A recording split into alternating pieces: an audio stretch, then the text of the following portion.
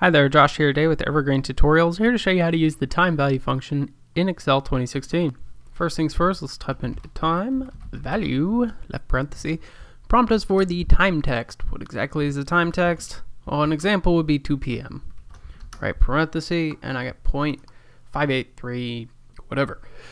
This is actually the time, go format this as time, and in fact it is 2 p.m. That is the serial number time of the day, which I'll get to in a second.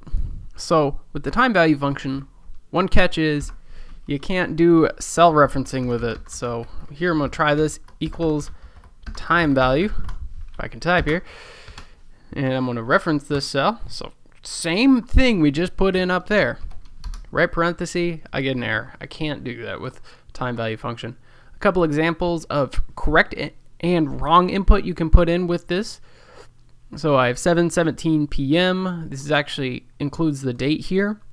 Excel just cut that off and it will take that and I get 7:17 p.m. Time value function always returns to us the serial number from these inputs.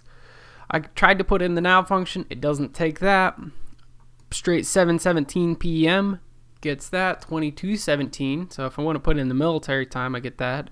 We've just seen 2 p.m. in there and it will take July 7 which frankly will give us zero because that's just the day. It doesn't include the time, so when Excel sees a day, it thinks it's midnight. I tried to put in July 7th and it didn't take the TH in there very friendly and it threw an error.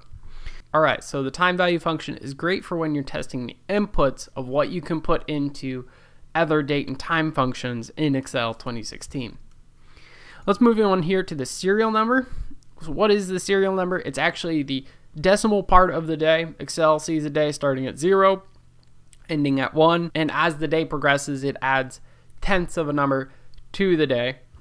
So here we have 8:16 p.m. Here I have 0.84, and here I have 201632.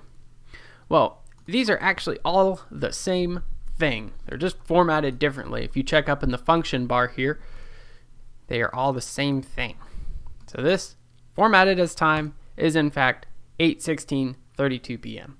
So like I said before, the time value function is great for testing inputs into what you can put into Excel. So like down here, it didn't take July 7th, but it took July 7.